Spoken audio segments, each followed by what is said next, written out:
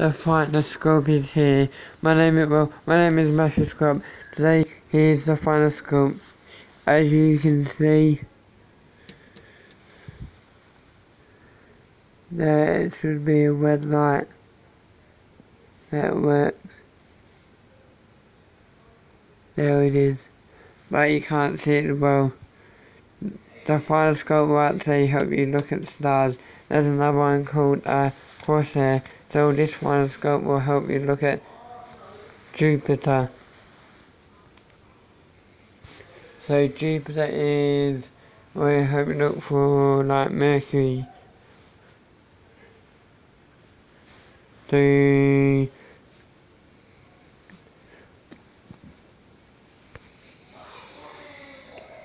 to adjust that turn these knobs there. I don't know what they do yet but all I do is I just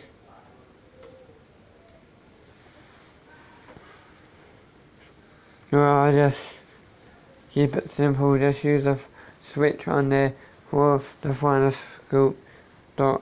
I don't do anything else, just use that one switch. So in my next, I'll see you in, uh, in your next video. Thank you, goodbye.